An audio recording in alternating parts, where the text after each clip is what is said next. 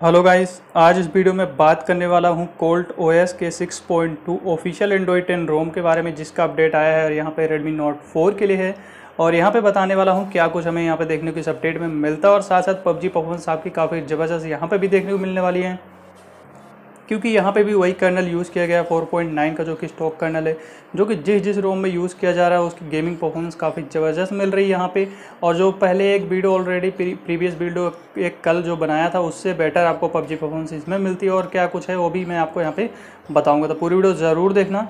और अगर आप नए आए हैं तो चैनल को ज़रूर सब्सक्राइब कर लें और साथ साथ बेल आइकन को प्रेस करके नोटिफिकेशन बेल को ऑल पे कर लें, ताकि जब भी मैं अगली वीडियो अपलोड करूँ, आप सबको नोटिफिकेशन मिल जाए और साथ साथ हमारे टेलीग्राम ग्रुप पे भी ज्वाइन हो ले। उसकी लिंक आपको डिस्क्रिप्शन में मिल जाएगी तो वहाँ से आप ज्वाइन हो लेना। और चलिए हम यहाँ पर वीडियो स्टार्ट करते हैं।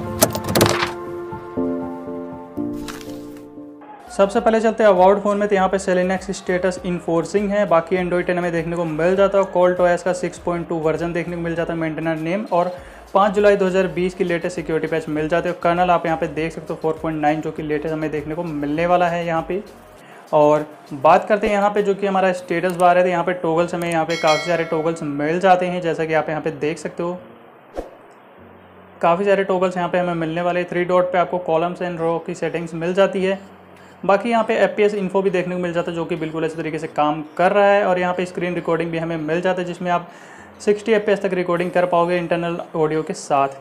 वॉल्यूम पैनल कुछ इस तरीके से मिल जाता है, जो कि काफ़ी अच्छा है, यहाँ पे देखने को मिलता है वॉल्यूम पैनल हमारा। पावर मेन्यू में आप एडवांस रिबूट इनेबल कर सकते हो पावर मेन्यू की सेटिंग में जा करके तो यहाँ पे थोड़ा सा ब्राइट वो ज़्यादा हो रहा है। बाकी कॉल की बात करें तो वोल्टी हमारी यहाँ पे बिल्कुल अच्छे तरीके से काम करे कॉल रिकॉर्डिंग में मिल जाता है। वीडियो कॉलिंग की अगर हम बात करें तो वीडियो कॉलिंग फ़िलहाल सही से नहीं हो पाता यहाँ पे अभी।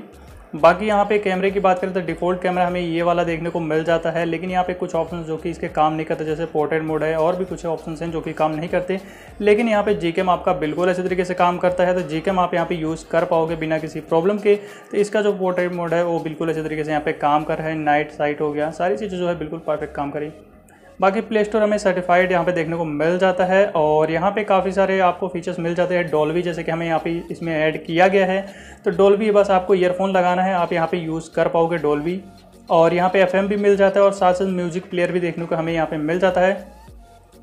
उमनीस स्विच भी हमें देखने को मिल जाता है, जिसका आप यहाँ पे यूज़ कर पाओगे। तो रिसेंट से अभी यहाँ से इनेबल नहीं होता वो आपको आगे मैं बता दूँगा। बाकी यहाँ से आप इस तरीके से स्लाइड करके रिसेंट इसका जो है इनेबल कर पाओगे। बाकी यहाँ पे आपको काफ़ी सारी सेटिंग्स भी इसकी देखने को मिल जाता है। आइकन पैक भी आप लगा सकते हो तो ये काफ़ी सारी सेटिंग्स मिलने वाली है। बाकी यहाँ पे अगर हम बात करते हैं जीपे की तो हमारा बैंकिंग ऐप ऑलमोस्ट सारे के सारे यहाँ पे काम कर रहे हैं। जीपे हो गया या फिर हमारा मूवी क्विक हो गया। फ़ोनपे हो गया। सारे सारे बैंकिंग ऐप जो है, बिल्कुल अच्छे तरीके से यहाँ पे काम करें तो ऑलमोस्ट आपके सारे बैंकिंग ऐप काम करें बिना रूट के। एंड बात करते हैं यहाँ पे कनेक्टेड डिवाइस के अंदर जो कि हमारा कास्ट देखने को मिलता तो कास्ट हमारा जो है यहाँ पे काम कर रहा है बिल्कुल अच्छे तरीके से। और बात करते हैं यहाँ पे हमारा जो कि कोल्ट का कस्टमाइजेशन तो इसके अंदर स्टेटस बार के अंदर अगर हम चलते हैं तो यहाँ पे एक ऑप्शन न्यू ऐड किया गया जो कि आपको वोल्टी आइकन में देखने को मिलेगा। ई एम यू आई का जो कि यहाँ पे आइकन ऐड किया गया इस अपडेट में तो आपको यहाँ पे वोल्टी का जो कि देखने को मिल जाता है न्यू आइकन तो इस तरीके से जो है आप ऐसे यूज़ कर पाओगे जो कि हमें स्टेटस बार में देखने को मिल जाता। है बाकी अगर हम बात करें यहाँ पे code setting and battery style के अंदर तो बैटरी स्टाइल के अंदर आपको ये कुछ सेटिंग्स देखने को मिल जाता। है नीचे आपको एग्रेसिव बैटरी का भी ऑप्शन मिल जाता है। क्विक सेटिंग्स के अंदर अगर हम चलते हैं तो यहाँ पे आपको देखने को मिलने वाला है आपका जो कि data users in Q S header तो ये आपको देखने को मिल जाता है जो कि आप यूज़ कर पाओगे यहाँ पे। तो यहाँ पे जैसे कि मैं ऊपर दिखा तो ज़ीरो भी आप देख सकते हो, अभी ज़ीरो यहाँ पे यूज़ किया गया डाटा तो आप यहाँ पे डेली सेट कर सकते हो अपना डेली का या फिर मंथ का। तो जो है आप कितना यूज़ किए वो आप वहाँ पे शो करेगा। बाकी अगर हम चलते हैं यहाँ पे बटन्स के अंदर तो बटन्स के अंदर हम यहाँ पे चलते हैं। यहाँ पे हमारा बटन्स है, जिसके अंदर आप डिसेबल की कर सकते हो बैकलाइट डिसेबल कर सकते हो, बाकी एक्शन लगा सकते हो बैक एंड होम इन सारे बटन्स पे। बाकी नेविगेशन बार आप यहाँ से इनेबल डिसेबल कर सकते हो, जो कि ऑलरेडी इनेबल है ये। यहाँ पे आपको पिक्सल एनिमेशन भी देखने को मिल जाता है नेविगेशन बार में, जो कि बिल्कुल ऐसे तरीके से काफ़ी स्मूथ भी यहाँ पे काम कर रहा है।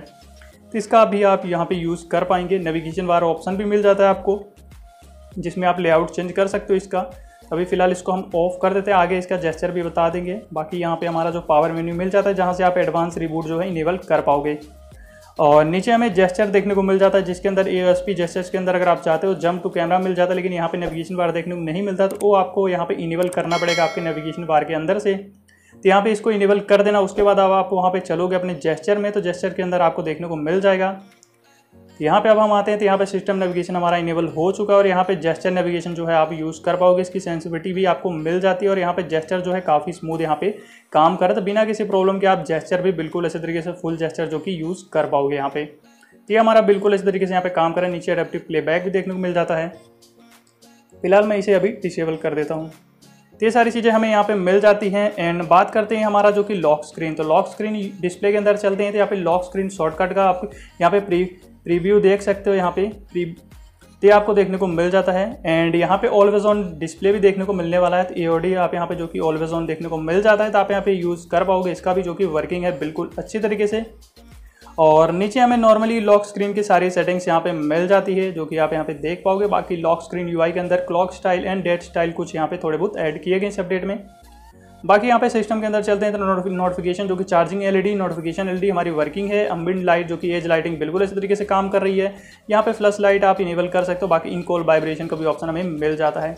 एनिमेशन सारे आपको यहाँ पे एनिमेशन के अंदर देखने को मिलेंगे। सारे के सारे एनिमेशन एंड यहाँ पे कॉल डेकोरेशन के अंदर अगर हम चलते हैं तो यहाँ पे कोल्ड डेकोरेशन के अंदर आपको सारी इसकी थीम मिल जाता है। कोल्ड ओएस की थीम्स आपको देखने को यहाँ पे मिल जाएगी। बाकी एस एंड पीकर हो गया क्यूएस बॉर्डर एक जो कि न्यू यहाँ पे ऐड किया गया है। तो ये क्यूएस बॉर्डर जो कि इस अपडेट में यहाँ पे ऐड किया गया है तो इससे आपको देखने को कहाँ मिलेगा? तो यहाँ पे अगर आप देखोगे तो यहाँ पे स्टेटस बार के नीचे आपको एक बॉर्डर ब्लू कलर का देखने को मिल रहा है।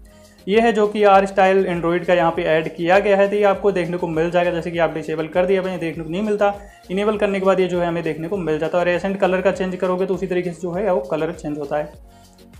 बाकी मिसलेनस के अंदर आपको यहाँ पे रिसेंट स्टाइल जो कि देखने को मिल जाता था। यहाँ से आप ओमनी स्विच को आप इनेबल कर पाओगे तो बस इस तरीके से आना है और इनेबल कर लेना। उसके बाद आप रिसेंट बटन से डायरेक्ट ओमनी स्विच यहाँ पे आपका देखने को मिल जाएगा।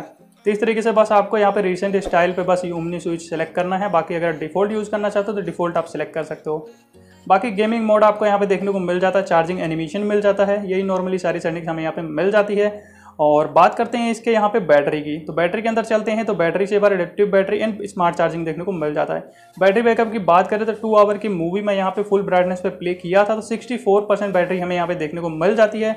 तो बैटरी बैकअप ऑलमोस्ट आपको काफ़ी अच्छी यहाँ पे मिल जाएगी और डेली लाइफ नॉर्मली जो कि आपको काफ़ी इससे बेटर ही देखने को मिलने वाली है। और बात करते हैं यहाँ पे डिस्प्ले सेटिंग्स की। तो यहाँ पे हमारा नाइट लाइट हो गया ऑटो ब्राइटनेस हो गया, बिल्कुल इस तरीके से काम कर रहा है। लॉक स्क्रीन डिस्प्ले के अंदर यहाँ पे नॉर्मली सेटिंग्स हमें मिल जाता है डबल टैप टू बैक मिल जाता है। Headline body font icon shape and status bar icon ये सारे ऑप्शन आपको मिल जाते हैं। बाकी साउंड के अंदर अगर हम चलते हैं तो साउंड के अंदर जो सेटिंग्स थी, वही सारी हमें देखने को मिलने वाली है। और यहाँ पे चलते हैं सिक्योरिटी के अंदर। तो सिक्योरिटी के अंदर आपको सिर्फ़ फिंगरप्रिंट देखने को मिलता है। फेस हम लोग अभी फ़िलहाल देखने को नहीं मिलता है। तो फिंगरप्रिंट के अंदर हमारा जो पैटर्न साइज़ है, कुछ इस तरीके से मिल जाता है। और फिंगरप्रिंट की अगर हम बात करें तो फिंगरप्रिंट हमारा बिल्कुल ऐसे तरीके से काम कर रहा है। जैसे कि एंड्रॉइड टेन में वन टैप वाला इशू है, वो देखने को मिलता है। बाकी फिंगरप्रिंट हमारा काम कर रहा है। बाकी यहाँ पे स्क्रीन लॉक सेटिंग्स की अगर हम बात करें तो ये कुछ सेटिंग्स मिल जाती है स्मार्ट लॉक सेटिंग्स की अगर हम बात करें तो स्मार्ट लॉक में भी हमें सेम ही देखने को मिलने वाला है।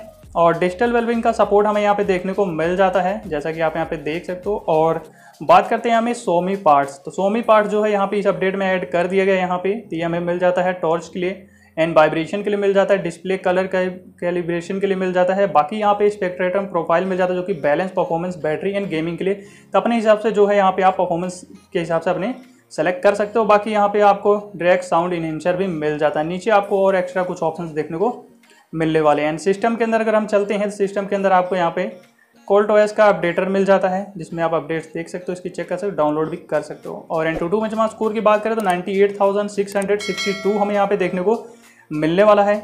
और पबजी की अगर हम बात करें तो पबजी का ग्राफिक तो आपको सेम ही मिलता है। सारी रोम्स में बैलेंस पे मीडियम एंड स्मूथ पे हाई फ्रेम रेट तक देखने को मिल जाता है। और पबजी परफॉर्मेंस की अगर मैं बात करूँ तो कल जिसकी वीडियो मैं बनाया था, उससे बेटर आपको परफॉर्मेंस यहाँ पे मिल जाती है।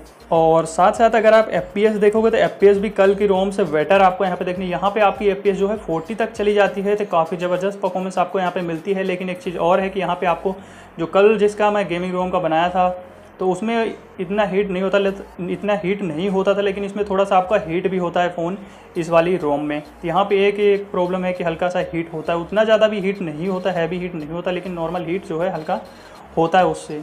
और बाकी यहाँ पे परफॉर्मेंस तो पबजी की परफॉर्मेंस आपको बेटर मिल ही रही है, जो कि न्यू कर्नल यहाँ पे यूज़ किया जा रहा है सभी रोम्स पे तो सभी रोम्स ही मुझे लगता है गेमिंग रोम बन जाएगी ऐसे तो।